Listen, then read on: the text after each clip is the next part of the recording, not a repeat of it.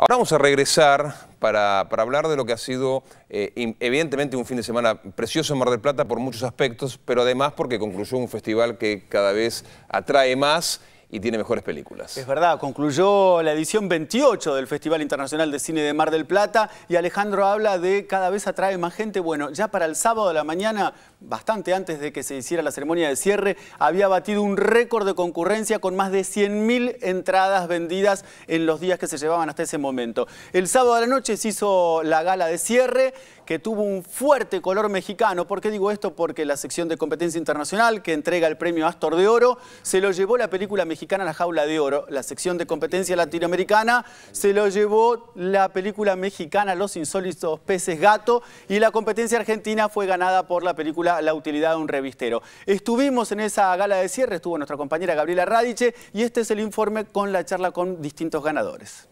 Llevamos cinco premios, entre ellos de los más importantes el premio del público, porque habla por sí mismo, y el premio al Astor de, Oro a Mejor Película, que lo otorgó el jurado y el festival.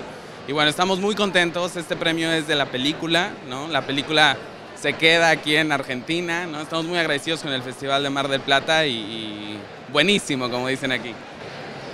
Muchos nervios, eh, tenía mucha vergüenza, pero me solté.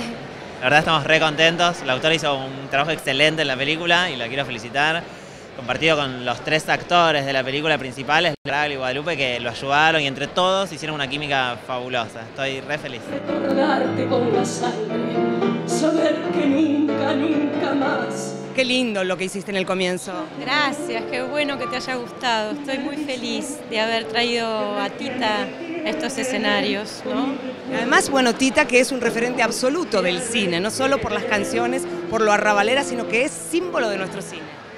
De lo mejor que, yo he visto, realmente es una actriz increíble, con un, con un rango enorme que va de la comedia a la tragedia, pasando por todos los matices. Es una, fue una mujer avanzada para su época, así que la verdad que Estoy muy contenta porque salió lindo y gustó mucho, así que bueno, feliz. Yo soy propia hermana entre de Chiclana y Comparo. Si me gano el morfine